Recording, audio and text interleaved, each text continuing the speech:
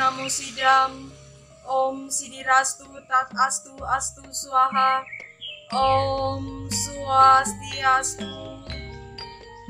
Om Anubadrah Kertawiyantu Wiswata. Semoga pikiran yang baik datang dari segala penjuru alam.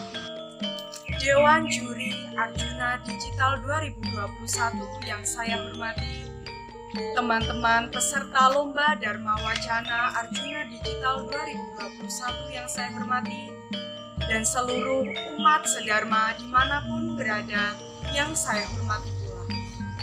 Marilah kita senantiasa menghaturkan puja angayu bahagia kehadapan Ida Sang Hyang Widiwasa karena atas asum tertawaran gerahnya kita masih diberi kesehatan, keselamatan, serta pikiran yang positif untuk menjalankan swadharma kita pada hari ini. Umat sedharma di mana pun berada, sebelumnya perkenalkanlah saya Swastika Sari dari Kabupaten Jepara, Provinsi Jawa Tengah. Pada kesempatan yang berbahagia ini, izinkanlah saya menyampaikan pesan Dharma mengenai implementasi ajaran Trihita Karana di zaman Kali Yuga. Mengapa saya ingin membahas tentang hal ini? Sebab tak lain adalah apa yang kita lihat dan apa yang kita rasakan di zaman Kali Yuga ini banyak sekali terjadi bencana-bencana alam seperti tanah longsor, banjir bandang, badai salju, kekeringan, dan yang paling parah adalah wabah COVID-19 yang mana telah menelan banyak korban jiwa dan menimbulkan kemerosotan ekonomi. Dan di zaman kali juga ini juga banyak sekali penyakit-penyakit masyarakat yang merajalela, seperti penyebaran hoax, penggunaan media sosial yang tidak bijak, pencurian, perompokan, perampasan, kekerasan, pembunuhan, bahkan terorisme. Mengapa itu semua bisa terjadi?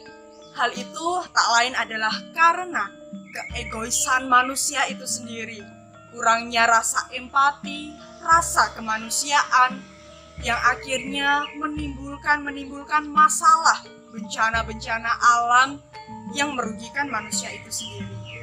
Oleh sebab itu, kita sebagai umat Hindu hendaknya memahami serta mengamalkan ajaran-ajaran agama Hindu, salah satunya yaitu ajaran Trihita Karana dalam kehidupan sehari-hari.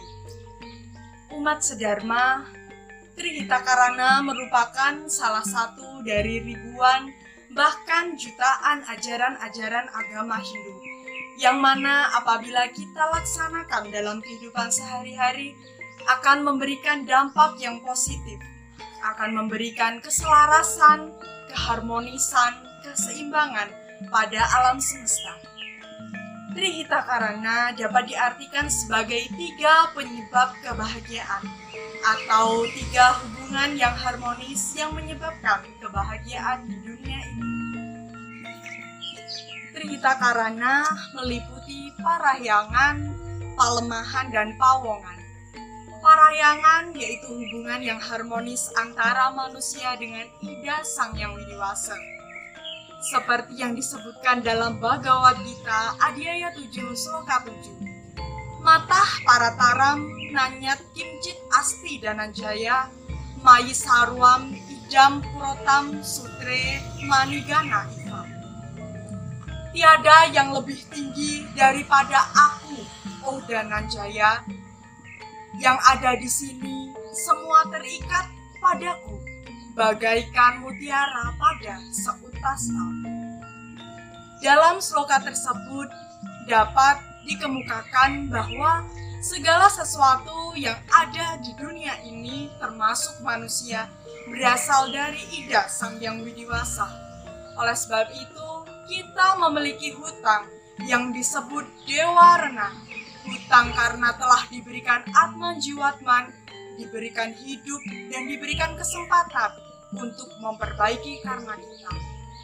Oleh sebab itu, maka kita sebagai manusia hendaknya menjaga hubungan dengan Ida Sang Yang Widiwasa dengan melakukan sembahyang sebagai wujud rasa syukur kita kehadapan Ida Sang Yang Dewasa, melakukan Dharma Yatra, mempelajari serta melaksanakan ajaran-ajaran suci Weda, dan beryoga samadhi. Umat sedharma di mana pun berada, selain kita menjaga hubungan dengan Ida Sang Yang Widiwasa, kita juga harus menjaga hubungan dengan sesama manusia yang disebut dengan pawongan. Hal ini tentunya sangatlah penting sebab manusia adalah makhluk sosial.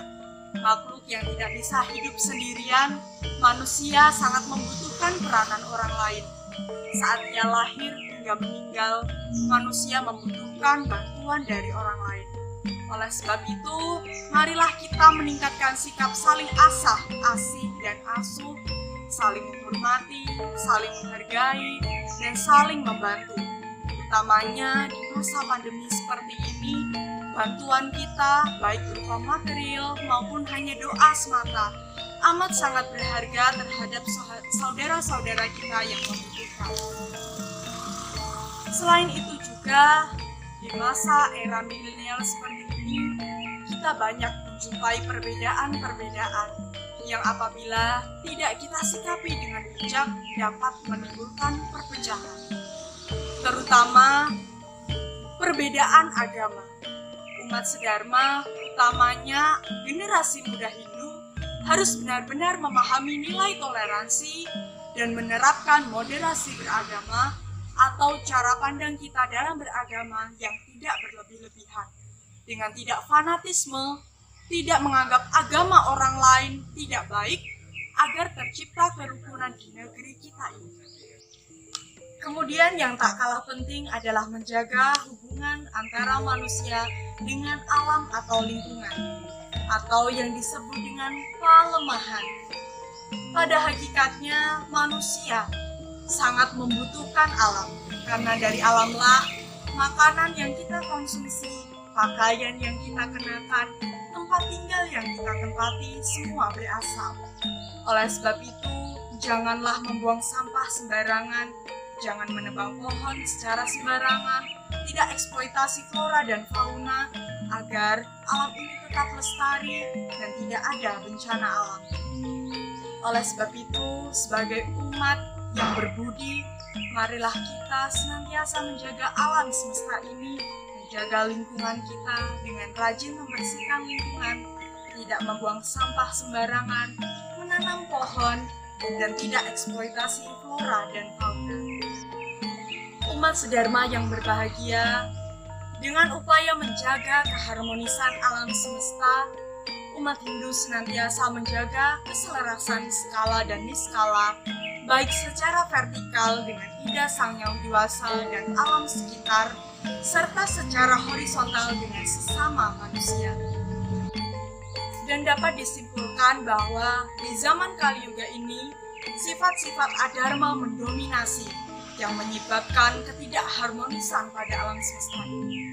Oleh sebab itu, kita sebagai umat Hindu, marilah mengimplementasikan ajaran-ajaran agama Hindu, salah satunya yaitu ajaran Trihita dengan menjaga hubungan dengan Ida Sang Yang Wiwasa, menjaga hubungan dengan sesama manusia, dan menjaga hubungan dengan alam sekitar agar tercipta muksata menjaga dita ya caiti dharma. Umat sedharma di mana pun berada, semoga pesan dharma yang saya sampaikan dapat bermanfaat dan dapat kita implementasikan dalam kehidupan sehari-hari. Dan mari tetap patuhi protokol kesehatan 5M dan 1D agar pandemi ini segera berakhir. Lan pilih wonten kalepatan angin kawula matur kula nyuwun agunging samudra pangaksa. Dan apabila ada tutur kata yang kurang berkenan, saya mohon maaf. Suradira Jayaningrat lebur dene pangastuti. Jalan-jalan ke Pulau Bali tidak lupa mampir ke Waterboom. Saya akhiri dengan para Mas Santi. Om Santi, Santi, Santi.